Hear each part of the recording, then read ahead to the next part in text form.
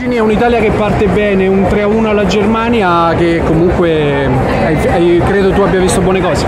Sì, ci fa contenti, prima di tutto ci fa contenti il risultato, avevamo molta voglia di iniziare questo, questo cammino, l'abbiamo fatto con una vittoria, sappiamo che abbiamo tante cose da migliorare, da migliorarle la pazienza che mettiamo eh, palla dopo palla durante, durante i match. Questa è la strada che ci siamo indicati e quindi una partita per volta eh, cercheremo di farlo cercando di aggiungere ogni giorno qualcosina. Anche nel terzo set quando fisiologicamente un po' il fiato era corto, comunque la squadra è rimasta lì concentrata di testa, poi comunque ha ripreso bene. Ma più che il fiato era corto, noi abbiamo fatto due buonissimi primi set, dal punto di vista dell'approccio, dal punto di vista dell'intensità, abbiamo recuperato tanti palloni in difesa, abbiamo messo in difficoltà l'avversario anche con, eh, con, una buonissima intensità con la battuta.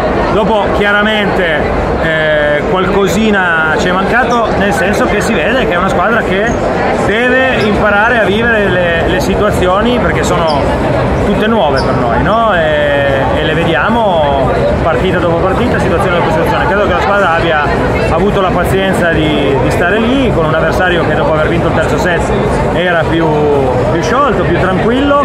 Questo non ci ha non solo creato un, un disguido, ma non ci ha nemmeno eh, impedito di rimanere lucidi e concentrati su quello che in questo momento è assolutamente la nostra assoluta priorità, che è il nostro gioco